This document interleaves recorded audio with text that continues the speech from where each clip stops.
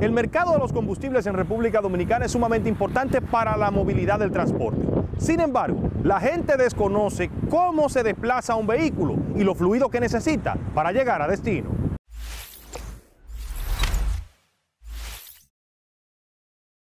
El motor de combustión interna posee un sistema de enfriamiento para funcionar de forma óptima. No, no, no entendí yo, ¿no? Pero no se puede funcionar con agua. Eso sería el final, de verdad. Eso hay que verlo para creerlo nada más. Solo las motocicletas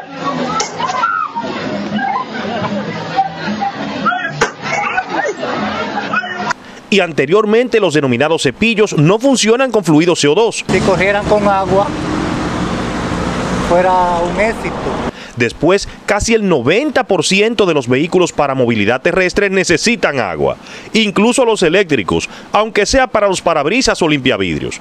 Parece que algunos dominicanos ignoran esa realidad. Oh, si funcionarán con agua por un privilegio, por una vaina bien.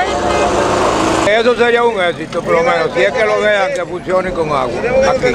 pues al ser cuestionados dieron respuestas indistintas que nada tienen que ver, o sea, mucha gente hablando disparate. Esto no para aguantar castillo de puente. Estamos en el gobierno. Que no debe ser, yo hallo que no debe ser así. Pásale atrás que yo no puedo.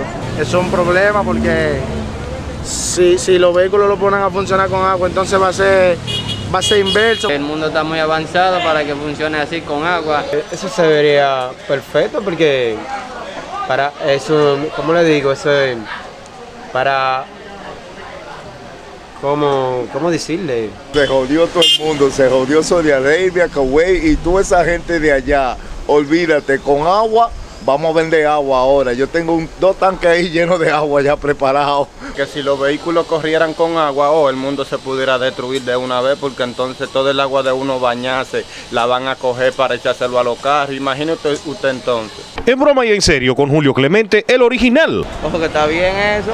Si funcionan con agua está bien. indetenible.